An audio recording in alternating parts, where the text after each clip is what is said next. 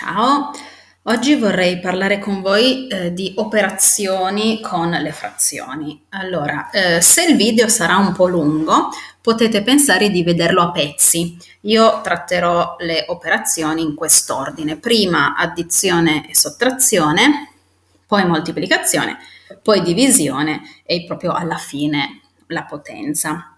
Vedete voi, se è troppo tutto insieme lo, lo guardate in giornate diverse hm? o in base agli esercizi che avete. Allora, iniziamo con addizione e sottrazione. Primo caso, sono due casi.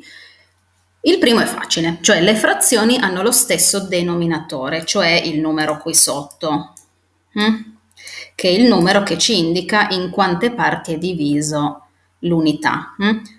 Un quinto più due quinti. Quindi avete la solita pizza divisa in cinque parti, ne prendete prima una fetta, poi due fette, in totale avrete preso tre fette su 5. Quindi vedete in questo caso molto facile, non cambiate il denominatore visto che è uguale, tenetevelo così com'è e sommate sopra. O se ci fosse una sottrazione, sottraete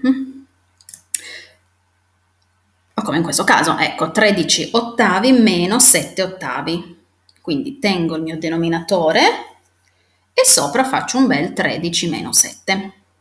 Ok?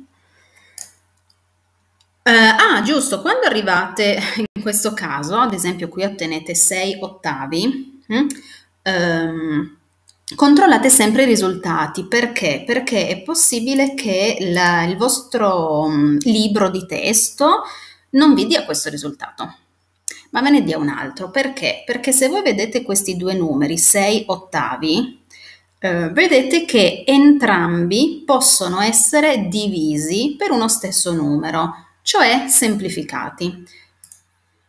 Posso dividere per 2 il 6 e posso dividere per 2 anche l'8. Mm? Allora lo faccio e quello che ottengo sarà un bel 6 diviso 2, 3 e 8 diviso 2, 4. 3 quarti. Mm? E effettivamente, se anche ci provate con la calcolatrice, 6 ottavi, 6 diviso 8, e 3 quarti, 3 diviso 4, eh, hanno lo stesso, lo stesso valore, ok? Sono frazioni equivalenti e quel 3 quarti è quello che eh, vi, vi, darà la, la, la, la soluzione del libro, ecco, che troverete sulla, come soluzione del libro. Ok, quindi controllate sempre il risultato finale. Adesso guardiamo il caso secondo me più difficile in generale delle operazioni con le frazioni, che è questo. Siamo sempre in addizione e sottrazione, ma questa volta il denominatore è diverso.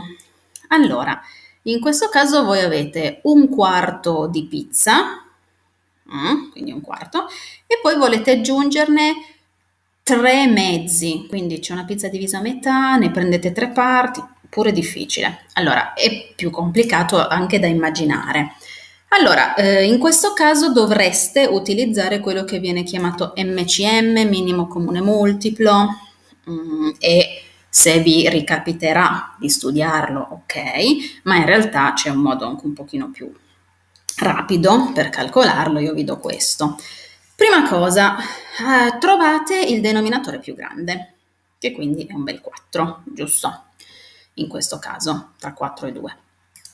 Cosa fate? Controllate se questo è divisibile per tutti gli altri denominatori. In questo caso avete solo questo. Cioè io posso fare 4 diviso 2, mi viene un bel numero naturale, pulito. Sì, sì, si può fare. Allora in questo caso dovete trasformare tutte le frazioni allo stesso denominatore, a 4 in questo caso. Quindi voi avrete eh, in questa prima frazione, beh, nulla cambia perché 4 era prima, 4 è adesso, per cui qua potete già mettere un bell'uno. Hm? Ma cosa succede in questa? Hm? Succede che quello che prima era fratto 2 adesso deve diventare fratto 4. Come si fa? 4 diviso 2 per 3. 4 diviso 2, 2, per 3, 6. Allora, se voi guardate, non avete più 3 mezzi, ma avete 6 quarti. Mm? Queste frazioni sono equivalenti. Quello che avete fatto è in fondo moltiplicare per 2. Comunque l'avete cambiata in modo tale che avesse un denominatore 4. Se voi di nuovo volete fare una prova, 3 diviso 2 fa 1,5 e 6 diviso 4 fa 1,5, quindi la frazione ha assolutamente lo stesso valore. Hm? L'avete solo eh, cambiata, ok? A questo punto vi ritrovate niente con una bella frazione, con un denominatore 4 e sopra fate un bel 1 più 6, 7. Ok? Vediamo un altro caso, come questo. Qua c'è una sottrazione, denominatori diversi. Come prima, trovo il denominatore più grande, che è sempre questo 4. Posso fare 4 diviso gli altri denominatori? Cioè 4 diviso 3? No, perché non viene un bel numero naturale.